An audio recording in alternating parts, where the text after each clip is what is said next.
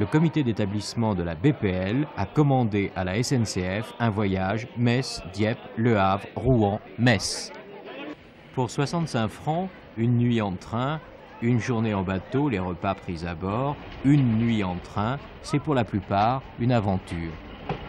La SNCF a bien fait les choses. Une voiture cinéma, des séances permanentes, Fernandel en couleur toutes les heures et demie. Deux voitures dancing, le Pops Club et chez Louloute. Le comité d'établissement de la BPL a même prévu une radio à bord. Ceux qui ne dansent pas peuvent aussi reposer dans leur compartiment couchette.